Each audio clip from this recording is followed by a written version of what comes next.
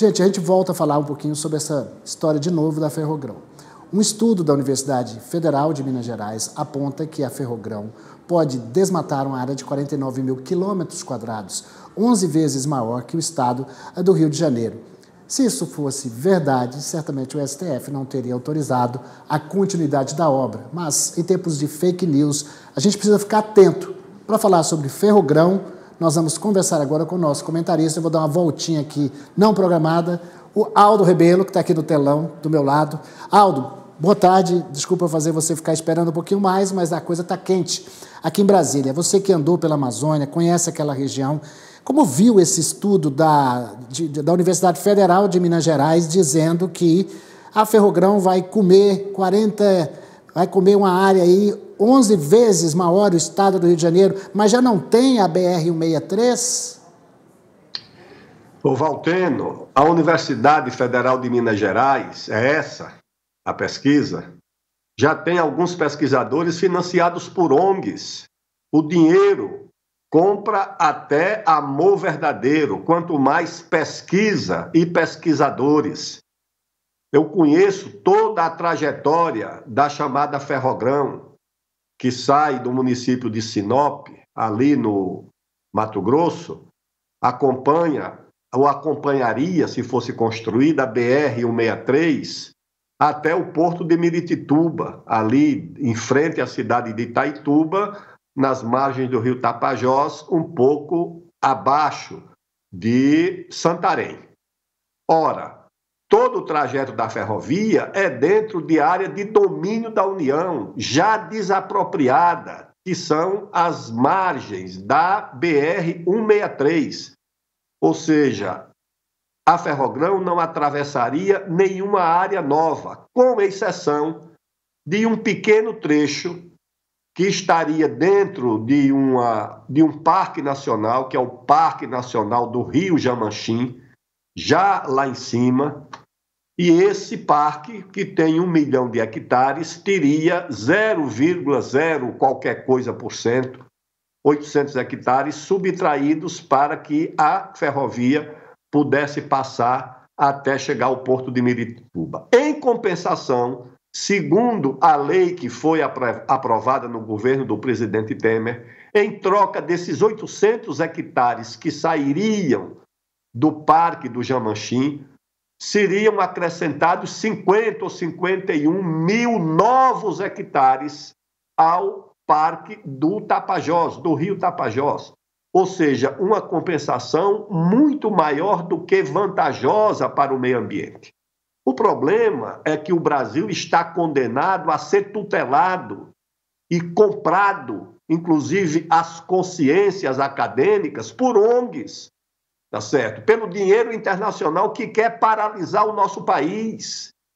Pelo contrário, a, a ferrovia ela ajuda a proteger o meio ambiente, porque ela pode também dar acesso aos órgãos de fiscalização a áreas remotas que muitas vezes só são acessadas por criminosos ambientais.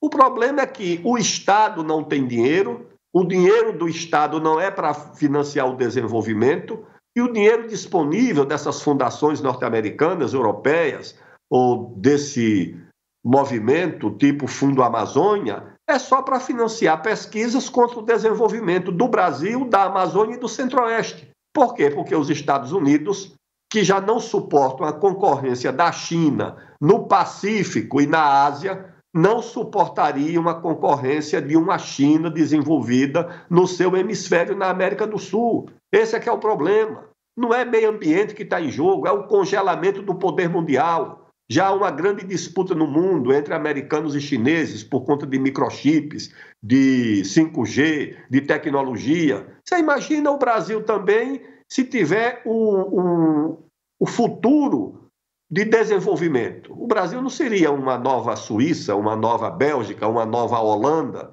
O Brasil seria uma nova China. E isso os seus concorrentes, americanos e europeus, não querem. E por isso financiam ONGs e pesquisas acadêmicas para condenar o Brasil ao imobilismo e ao subdesenvolvimento. É isso que explica esse tipo de pesquisa que naturalmente contradiz tudo aquilo que já foi feito. Você acha que a Ferrogrão seria feita sem qualquer estudo de impacto ambiental?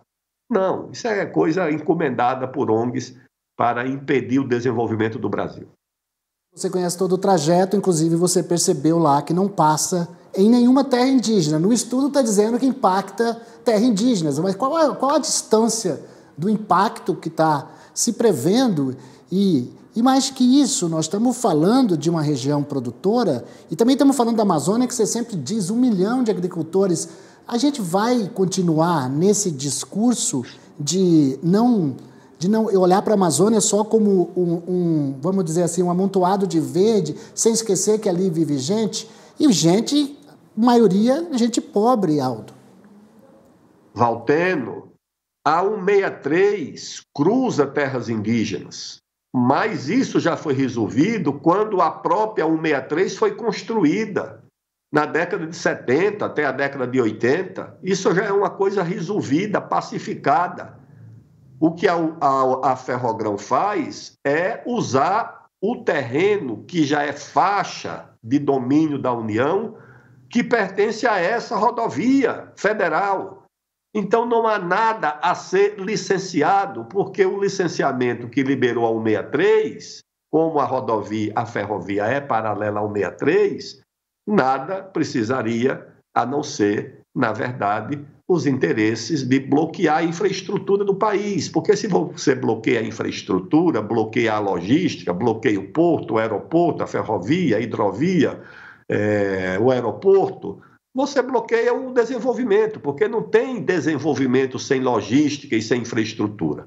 Se você não tem por onde transportar, se você não tem onde embarcar, se você não tem é, como fazer o deslocamento da mercadoria, você não tem como produzir. Então, isso é a leitura que essas ONGs fazem e, por essa razão, se mobilizam no centro-oeste e no norte e na Amazônia, porque não se mobilizam para fazer saneamento básico, não se mobilizam para a educação, não se mobilizam para a saúde, não se mobilizam para a infraestrutura, se mobilizam apenas para essa agenda de bloqueio do desenvolvimento. E é um país com um déficit muito grande de soberania, de autonomia na região mais rica do país e nós pagamos um preço elevado por causa disso. E nós temos que enfrentar essa situação. Por quê? Porque o futuro do Brasil está ali. O Brasil, o futuro do mundo é no Pacífico. A economia do mundo está transitando do Atlântico Norte para o Pacífico, da Europa Ocidental e dos Estados Unidos para a Ásia. É isso que a economia do mundo está fazendo. É uma mudança de época, é um câmbio de época que o mundo está conhecendo. E o mundo brasileiro mais próximo da Ásia e do Pacífico é o Centro-Oeste, é a Amazônia. É ali, são esses estados que se ligam com o Pacífico, que são o Mato Grosso do Sul, Mato Grosso, Rondônia, o Acre, o Pará, e com o Caribe, que é o estado de Roraima. Por essa razão é que essas ONGs se concentram exatamente nesses estados estruturadores da economia do futuro. A economia de São Paulo cresceu 5% nos últimos 20 anos. A economia do Mato Grosso, as exportações, aliás, cresceram 139%. O Mato Grosso sozinho foi responsável por 45% do saldo da balança comercial do Brasil nos primeiros três meses desse ano. Por essa razão, é esse futuro que tem que ser bloqueado é o futuro que aponta o Brasil para a conexão com o Pacífico e com a Ásia. Daí o desespero das ONGs que representam esses interesses internacionais que, infelizmente, predominam no Brasil nessa agenda do meio ambiente. Belo, muito obrigado pela sua participação. Ficamos aqui de olho atento, até porque o Supremo já liberou isso. Tem uma CPI das ONGs funcionando no Senado Federal, analisando. Você tinha me dito e me disse que tem expectativa, esperanças que esse trabalho vá ser próspero. Obrigado mais uma vez pela participação aqui. Um abraço, Valtendo, parabéns e até breve.